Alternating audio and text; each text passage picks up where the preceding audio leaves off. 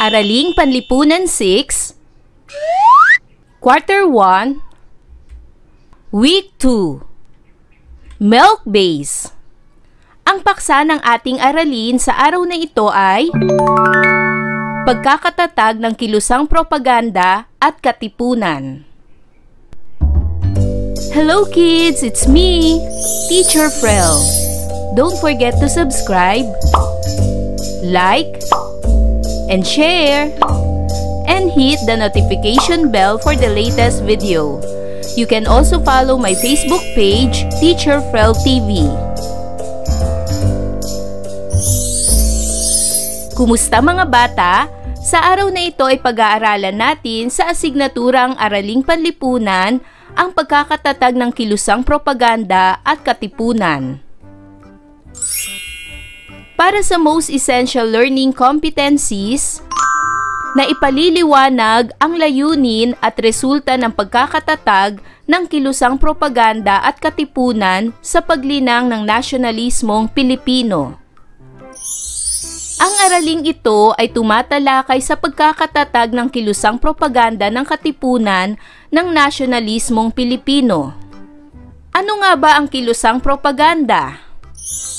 Ang kilusang propaganda ay isang panahon ng pagtawag ng mga katutubong Pilipino para sa mga reforma na tumatagal ng humigit kumulang mula 1880 hanggang 1886. Kasama sa mga kilalang miyembro sina Jose Rizal, may akda ng Noli Me Tangere at El Filibusterismo. Graciano Lopez Haina, publisher ng La Solidaridad, pangunahing punong himala ng Kilusan. Mariano Ponce, kalihim ng samahan, at Marcelo H. Del Pilar. Ang araling ito ay inaasahan na tutulong sa iyo para maipaliwanag ang layunin ng pagkakatatag ng kilusang propaganda at katipunan ng nasyonalismong Pilipino. Maipaliliwanag ang ambag ng kilusang propaganda sa pagpukaw ng damdaming makabayan ng mga Pilipino. At masusuri ang mga pangyayari sa himagsikan laban sa kolonyalismong Espanyol. Ano ang layunin ng pagkakatatag ng kilusang propaganda? Ano ang ambag ng kilusang propaganda sa paggising ng damdaming makabayan ng mga Pilipino? Sino-sino ang bumubuo sa kilusang propaganda? Upang masagot natin ang mga katanungang ito, ay dadako muna tayo sa pagsasanay bilang isa. Kilalanin ang pangkat ng makabayang Pilipino na bumuo sa kilusang propaganda Isulat sa patlang ang bayaning reformista o propagandista ng mga sumusunod na larawan. Para sa unang larawan, sino ang bayaning ito? Magaling!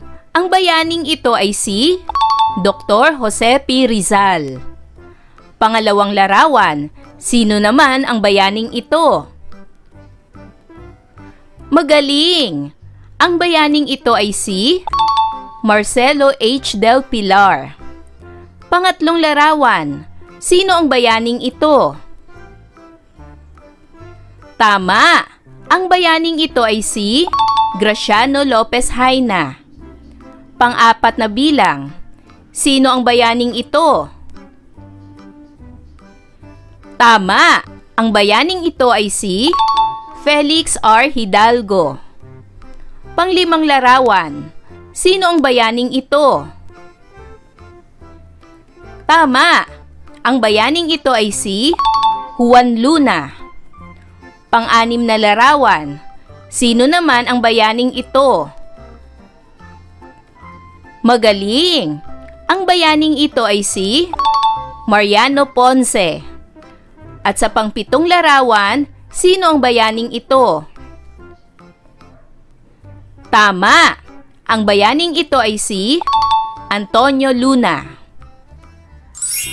Ngayon ay tatalakayin na natin ang pagkakatatag ng kilusang propaganda at katipunan. Nagkatagpo-tagpo ang iba't ibang grupo ng kabataang Pilipino sa Espanya. Nagkaisa ang mga Pilipino sa Espanya na gamitin ang panulat upang maiparating sa Gobernador General ng Espanya ang pang-aabuso ng mga Espanyol sa Pilipinas. Naitatag ang samahang propaganda na ang layunin ay magkamit ng reforma tungkol sa pamamahala ng Espanyol sa Pilipinas. Nagkaroon ng pahayagan ang samahang propaganda na tinawag na La Solidaridad. Una itong nailathala noong Pebrero 15, 1889 sa ilalim ng pamamatnugot ni Graciano Lopez Haina. Sa pahayagang ito nalathala ang mga katiwalian sa kolonya ng Pilipinas. Natapos ang paglilimbag noong 1875. May mga sipi na palihim na iniluwas sa Pilipinas at lihim namang binabasa sa mga nakapinid na mga pintuan. Ikalawang patnugot nito, si Marcelo H. Del Pilar at regular na manunulat si Jose P. Rizal. Huling issue ng pahayagan ay noong Nobyembre 15, 1875. Ito'y hindi nagtagumpay sapagkat kinulangan na sila ng pondo. Hindi sila pinakinggan ng mga praile, hindi pagkakaunawaan sa mga kasapi at pinuno, at mas pinansin ng Espanya ang kanilang panloob na usapin na dapat nilang tugunan. Itinatag ni Jose Rizal ang La Liga Filipina noong Hunyo 26, 1872 nang siya ay bumalik sa Pilipinas mula sa Espanya. Layunin ng samahan na mapag-isa ang buong kapuluan upang ipagtanggol ang sambayanan laban sa mga reforma sa pamahalaan. Hulyo 7, 1872 na itatag ang lihim na samahan ng kataas-taasang kagalang-galangang katipunan ng mga anak ng bayan o KKK. Trianggulo ang gamit na pamamaraan sa pagpili at pagsanib ng mga kasapi. Dimas Ilaw ang alias ni Bonifacio. 1883 pinayagan ng sumanib ang mga kababaihan sa samahan. Josefina Rizal ang Pangulo ng Kababaihan at Bise si Gregoria de Jesus. Ngayon ay dumako naman tayo sa pagsasanay bilang dalawa. Ayusin at kilalanin. Pag-aralan ang mga magkakahalong letra. Ayusin ang mga ito upang makabuo ng pangalan ng mga kilalang Pilipino na lumaban para sa bayan. Isulat ang nabuong pangalan sa ibaba nito at kilalanin ang kanilang nagawa o kontribusyon na nasa kabilang kahon. Tignan ang mga kahon sa kaliwang bahagi. Ang bawat kahon ay may mga nakagulong letra. Ito ay mga pangalan ng bayani. Dumako tayo sa letter A. Ayusin ang mga nakagulong letra. Sino ang bayaning ito? Tama! Ito ay si Jose Rizal. Para sa letter B, sino naman ang bayaning ito? Ayusin ang nakagulong letra. Magaling! Ang bayaning ito ay si Graciano Lopez Haina. Para sa letter C, sino naman ang bayaning ito? Ayusin ang nakagulong letra. Magaling! Ang bayaning ito ay si Marcelo H. Del Pilar. Letter D. Sino ang bayaning ito? Ayusin ang nakagulong letra. Tama! Ang bayaning ito ay si Andres Bonifacio. At para sa letter E, sino ang bayaning ito? Ayusin ang nakagulong letra. Tama, ang bayaning ito ay si Emilio Jacinto. Ngayon ay tignan naman natin ang kahon sa kanang bahagi. Alamin natin kung sino ang tinutukoy sa bawat bilang. Piliin ang tamang sagot sa mga pangalan ng mga bayani na nasa kaliwang bahagi. Para sa unang bilang, sino ang nagtatag ng KKK? Magaling! Ang nagtatag ng KKK ay si... Letter D. Si Andres Bonifacio. Para naman sa pangalawang bilang, naging patnugot ng pahayagang La Solidaridad. Sino siya? Magaling! Ang tamang sagot ay letter B, si Graciano Lopez Haina. Pangatlong bilang, kinilala bilang utak ng katipunan. Sino siya? Magaling! Ang kinilala bilang utak ng katipunan ay si Letter E, Emilio Jacinto. Pang-apat, siya ang naglunsad ng La Liga Filipina. Sino siya? Magaling! Ang naglunsad ng La Liga Filipina ay si Letter A, Jose Rizal. At panglima, naging ikalawang editor ng pahayagan ng Samahang Propaganda. Sino siya? Magaling! Ang tamang sagot ay letter C, si Marcelo H. Del Pilar. Dumako naman tayo sa pagsasanay bilang tatlo. Basahin ang mga sumusunod na pahayag at tukuyin kung aling samahan ang inilalarawan na nasa loob ng kahon. Isulat ang titik ng tamang sagot sa patlang bago ang bilang.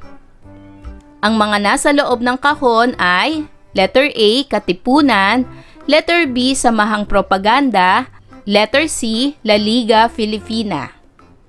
Unang bilang, ito ay binubuo ng Pilipinong ilustrado. Piliin ang tamang sagot sa loob ng kahon, A, B, or C. Magaling! Ito ay letter B, samahang propaganda. Pangalawa, kauna-unahang samahang na itatag. Anong samahan ito? Magaling! Ito ay letter B, samahang propaganda. Pangatlo, itong samahang itinatag ni Dr. Jose Rizal. Anong samahan ito? Magaling! Ang tamang sagot ay letter C. Ito ay La Liga Filipina. Pang-apat, nagmula sa iba't ibang kalagayan sa buhay ang Pilipinong kasapi sa lihim na samahan na ito. Anong samahan ito? Magaling! Ito ay letter A, katipunan. Panglima, layunin nito ang pagnanais magkamit ng mga pagbabago sa marahas na paraan. Anong samahan nito? Magaling! Ito ay letter A, katipunan. Pang-anim, sina Ladislao Diwa at Andres Bonifacio at iba pa ang nagtatag ng samahang ito. Anong samahan ito? Magaling! Ang sagot ay letter A, katipunan. Pangpito, samahang na itatag sa Espanya. Anong samahan ito? Magaling! Ang sagot ay letter B, samahang propaganda. Pangwalo, nang si Dr. Jose Rizal ay itinapon sa dapitan na itatag ito sa araw na yon. Ano ito? Magaling! Ang sagot ay letter C, La Liga Filipina. Pangsyam, si Emilio Jacinto ay may pinangasiwaang pahayagan ng lihim na samahan. Ano ito? Magaling! Ang tamang sagot ay letter A, Katipunan. At pangsampu, sa pagpili ng mga kasapi ay gumamit ng paraang triangulo. Ano ito?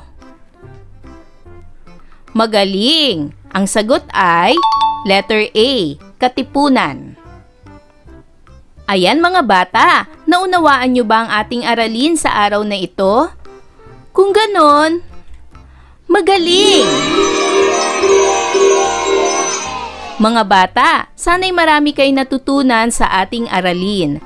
Hanggang sa susunod na video lesson, paalam! Thanks for watching!